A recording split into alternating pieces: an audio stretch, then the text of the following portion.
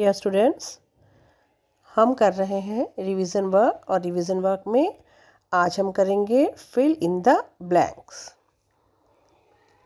fill up the blanks with correct words हमें इन correct words को पढ़ना है और समझना है बेटा और उसके बाद हमें क्या करना है? ये जो ब्लैंक्स हैं, इनको फिल करना है। ठीक है? चलिए इसको पढ़ते हैं और समझते हैं नंबर पहले तो हम वर्ड्स पढ़ते हैं बेटा।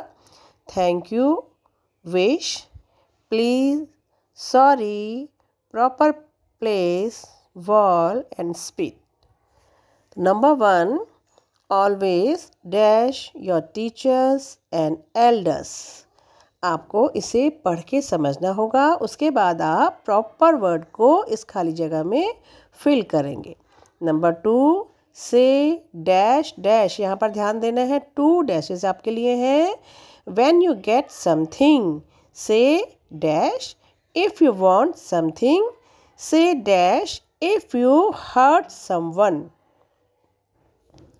number three keep your water bottle and bag at the dash dash यहाँ पर टू डैशेज हैं तो आपको ऐसा वर्ड सेलेक्ट करना है समझ के।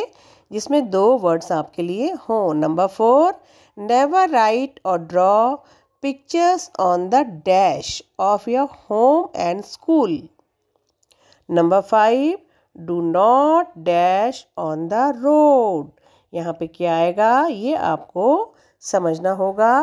तो इन, इस काम को आप अपनी नोटबुक में करेंगे और हाँ ऑनलाइन क्लास में आपसे ये सब चीज़ें पूछी जाएँगी। ठीक है बेटा आज का काम इतना ही।